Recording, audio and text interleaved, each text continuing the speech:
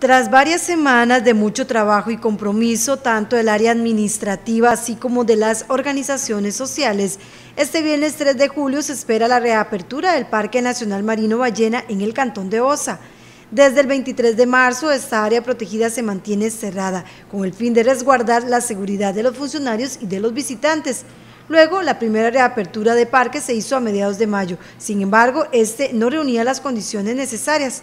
Por esa razón, diferentes grupos comenzaron a sumar esfuerzos para que ahora se tenga el primer puesto listo para atender a los visitantes. Se abrirá el sector de Ubita, que ya cuenta con todos los requisitos solicitados por el Ministerio de Salud. El director del parque, Cristian Massi, nos explica las modificaciones.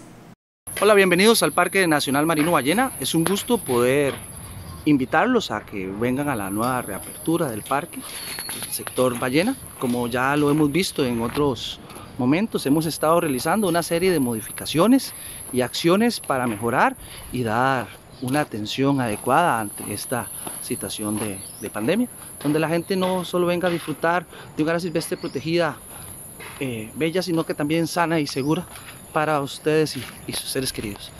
Eh, el parque ha implementado el sistema de distanciamiento social, en el cual vamos a estar separándose cada dos metros con, las otras burbujas, mediante las indicaciones de postes y así como la implementación de agentes químicos, eh, como es la limpieza de manos, eh, mediante jabón y alcohol gel, para favorecer el ingreso. Entonces todo visitante tiene que pasar por este proceso de desinfección y acatar las medidas de visitación. Los Dentro de las mejoras del Parque Nacional Marino Ballena está la implementación de las barreras físicas para el pago en, mediante el sistema de tarjetas. Les invitamos a todos, por lo cual, que vengan prevenidos para esta situación. Recordar también que los horarios de atención van a ser de acuerdo a las mareas. Vamos a estar abiertos de 8 de la mañana a 4 de la tarde, que vamos a contar con una capacidad de carga instalada fija.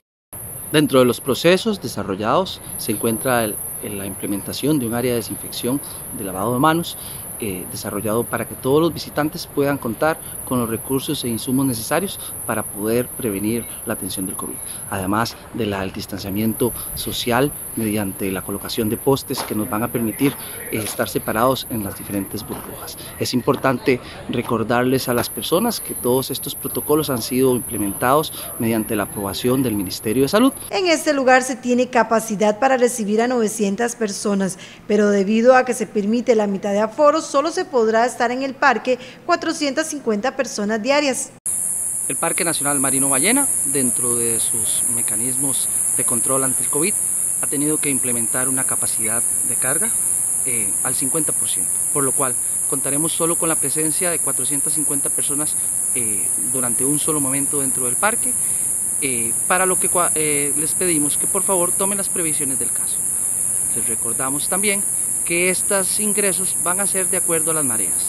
Agradecer de antemano a la comunidad que ha puesto su grano de arena y todo su esfuerzo para poder desarrollar las mejoras de estas obras. Gente tan valiosa como de la ADI, la Asociación de Turoperadores, la organización Somos, eh, Asoguía, entre muchos otros centros y comercios que han colaborado con este gran esfuerzo y sacrificio eh, para embellecer, así como a los funcionarios del Parque Nacional Marino Ballena por dedicar tanto esfuerzo y esmero en la realización de este hermoso proyecto para que la gente pueda venir una vez más a disfrutar de las bellezas que el Parque Nacional Marino Ballena tiene para brindarles. Las personas podrán disfrutar de la playa y de los senderos en este punto. La atención será de miércoles a lunes de 8 de la mañana a 4 de la tarde, o sea, solo los martes se mantendrá cerrado. Eso sí, el horario dependerá de las mareas. También los turistas podrán comprar tour con los empresarios de la zona. El costo de ingreso por persona es de mil colones los nacionales y 6 dólares extranjeros. Para la reapertura de este parque se concretaron muchas obras en coordinación con la administración y la Asociación de Desarrollo de Ubita, la Asociación de Turoperadores, la Asociación de Guías y la Fundación Somos, además de la municipalidad, el comercio y comunidades en general que aportaron. En este puesto se invirtieron alrededor de 6 millones de colones, monto que también se estima se gastará en los otros dos puntos de ingresos, que se esperan habilitar el 20 de julio por la colonia y el 1 de agosto en el sector de Ballena. Las diferentes obras y desarrolladas para la actualización de los procesos del Parque Nacional Marino Ballena ante la situación pandemia COVID se desarrollaron exclusivamente en el sector de.